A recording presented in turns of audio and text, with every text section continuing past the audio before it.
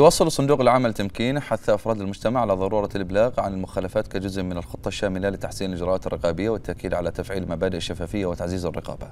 وتأتي هذه الخطوة إيمانا بضرورة تفعيل الشراكة المجتمعية لتعزيز الرقابة وحفظ المال العام من خلال فتح قنوات مباشرة لجميع العملاء للتواصل مع تمكين بسرية تامة.